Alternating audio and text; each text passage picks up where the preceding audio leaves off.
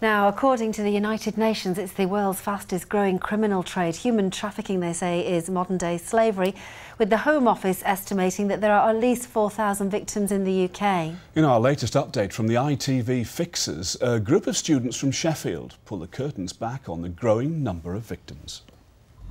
My name is James Hayden, I'm 23 years old. And I'm Gemma Bennett and I'm 21 years old and we're students at Sheffield Hallam University.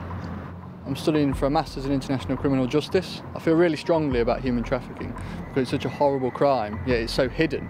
I was trafficked from the age of six by my dad. I'd be taken to a certain place and anybody that came into that place um, could do what they wanted with me. I knew my dad was making money from trafficking me. We ended up at the other side of the city. We didn't know where we were. It was so frightening and we just attacked and attacked over and over again. Internal trafficking in the UK can involve British nationals being moved from town to town for the purpose of exploitation. What's difficult about internal human trafficking is it's a lot harder to discover. I was surprised that human trafficking happens at such a level in Britain, uh, especially in comparison to how little people know about human trafficking.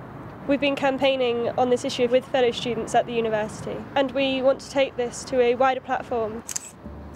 Our ITV Fixers project is a photography display. What we hope to achieve is to raise public awareness of internal human trafficking of British nationals. Maybe more towards us, looking down at the ground. Today ITV Fixers are helping us with our first photographs for the display. We're doing some key stages of the trafficking process. The first one we're getting photos of the moment where the trafficker chooses the vulnerable girl uh, and then we're choosing to photograph a later stage, uh, the exploitation phase. Uh, and they've helped us get together a photographer, an actress and a makeup artist. We hope that this display will reflect the vulnerability of these victims.